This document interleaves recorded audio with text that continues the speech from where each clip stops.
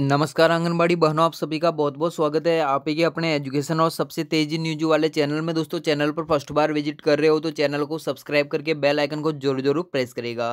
क्योंकि आंगनबाड़ी बहनों, आपको पता है कि आंगनबाड़ी से जुड़ी जो कोई भी खबर होती है, वो सबसे पहले आपको प्रोवाइड करवाई जाती हैं। वो भी विद प्रूफ के साथ, पूरी ऑथेंटिक खबर के साथ। तो जी हाँ बहनों, आज हो चुके हैं ग्यारह दिसंबर दो हज़ार बीस और आज की दोस्तों अलग अलग राज्य की जो आंगनबाड़ी से जुड़ी महत्वपूर्ण खबरें हैं, वो आपको इस वीडियो के माध्यम से मिलने वाली हैं। तो वीडियो बहुत ही महत्वपूर्ण बनने वाली है तो वीडियो को बिना स्किप के अंत तक ज़रूर देखते रहेगा वीडियो अच्छी लगे तो लाइक एंड शेयर भी ज़रूर कर दीजिएगा। और अगर आप भी पाना चाहते हो आंगनबाड़ी से संबंधित प्रत्येक अपडेट्स तो कमेंट बॉक्स में अपने स्टेट का नाम के साथ, अपने ज़िले का नाम भी ज़रूर कमेंट कीजिएगा। और कमेंट बॉक्स में ऐसी कोई आपत्तिजनक कमेंट ना करे, जिससे कि आपको बाद में शर्मिंदा होना पड़े। तो चलिए फ्रेंड, जान लेते हैं पूरी अपडेट्स। तो दोस्तों, सबसे पहली अपडेट्स यहाँ पर आप देख सकते हो। गढ़वा से की समस्या को लेकर मुलाकात। आंगनबाड़ी सेविकाओं की समस्या को लेकर मंत्री से मिला वर्कर्स यूनियन का प्रतिनिधि मंडल। जी हाँ दोस्तों, अपडेट झारखंड से है कि झारखंड प्रदेश आंगनबाड़ी वर्कर्स यूनियन गढ़वा जिला इकाई का प्रतिनिधि मंडल आज बुधवार को प्रदेश के पेयजल एवं स्वास्थ्य मंत्री मिथिलेश कुमार ठाकुर से आंगनबाड़ी सेविका व सहायिकाओं की समस्याओं को लेकर मुलाकात की और इस दौरान मंत्री से कई बिंदुओं पर चर्चा भी की गई और इस अवसर पर कहा गया है कि सेविका, सहायिकाओं का पोषार व मानदेय 2016 से 2020 तक के बीच कहीं माह तक बगया है। वहीं दोस्तों बात करें वही सबला पोषार योजना के 11 से 18 वर्ष तक किशोरी बालिका के लिए लागू था और ये योजना फरवरी 2017 तक लागू थी और इस योजना के अंतर्गत सेविका द्वारा पोषार खरीद कर किशोरी के बीच वितरण किया गया और इस योजना के तहत झारखंड सरकार से सिर्फ़ चावल दिया जा रहा था और दाल, चीनी आदि सेविकाओं द्वारा खरीद कर वितरण की जा रही थी। वितरण जनप्रतिनिधि की उपस्थिति में किशोरी का आधार एवं फ़ोटो लगाकर किया गया और इसका पैसा अप्रैल दो हज़ार सोलह से फरवरी दो हज़ार सत्रह तक ग्यारह माह का बाकी है।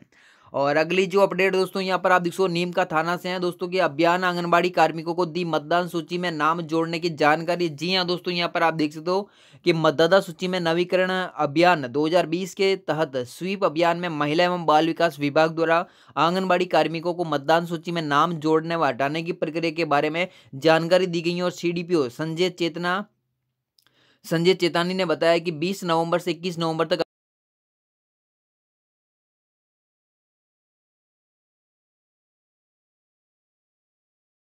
से हैं। राजस्थान की समीक्षा बैठक, किराए के भवन में चल नहीं चल सकेंगे। आंगनबाड़ी केंद्र ज़मीन देंगे सीएस जी हाँ दोस्तों, यहाँ पर आप देख सकते हो कि मुख्य सचिव निरंजन आर्य ने अपने शहरी क्षेत्रों में किराए के भवन में संचालित आंगनबाड़ी केंद्रों के लिए भूमि आवंटित करवाने का तथा भवन निर्माण में राष्ट्रीय स्वास्थ्य मिशन से तकनीकी सहयोग लेने के निर्देश दिए और आर्य बुधवार को सचिवालय में महिला एवं बाल विकास विभाग के पोषण अभियान तथा बेटी बचाओ, बेटी पढ़ाओ अभियान की वीडियो कॉन्फ्रेंस के माध्यम से आयोजित समीक्षा बैठक को संबोधित कर रहे थे और उन्होंने आंगनबाड़ी केंद्रों तक राशन सामग्री की समय पर आपूर्ति सुनिश्चित करने तथा आंगनबाड़ी केंद्र के रिक्त पदों का शीघ्र बढ़ने के निर्देश दिए गए हैं।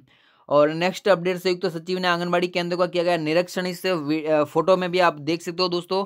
और अपडेट दोस्तों महबा से कि भारतीय सरकार संयुक्त राष्ट्रीय सचिव नीता केजरीवाल ने ब्लॉक के ग्राम दमरास में आंगनबाड़ी केंद्र का निरीक्षण किया और शौचालय में गंदगी देख अधिकारियों को साफ़ सफ़ाई के निर्देश दिए गए। वही सीसी मार्ग व नाली बनवाने के निर्देश भी दिए गए हैं।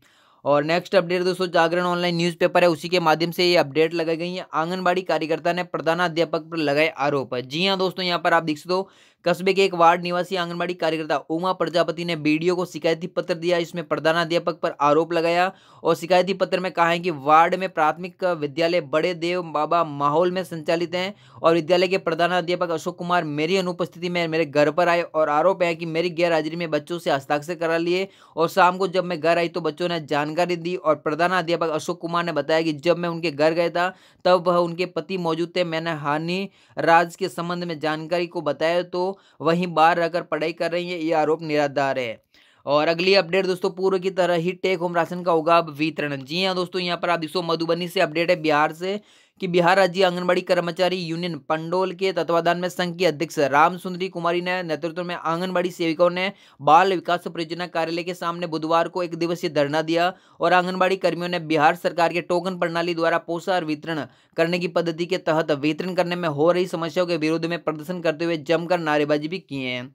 तो दोस्तों, ये थी आज की आंगनबाड़ी आशा वर्करों से जुड़ी जो मुख्य खबरों की अपडेट्स। अगर आपको वीडियो अच्छी लगी तो वीडियो को लाइक एंड शेयर कीजिएगा। साथ ही फ्रेंड्स, चैनल पर फ़र्स्ट बार बता रहे हो तो चैनल को भी सब्सक्राइब करके बेल आइकन को भी ज़रूर ज़रूर प्रेस करें। मिलते हैं फ्रेंड्स, नेक्स्ट वीडियो में, तब तक के लिए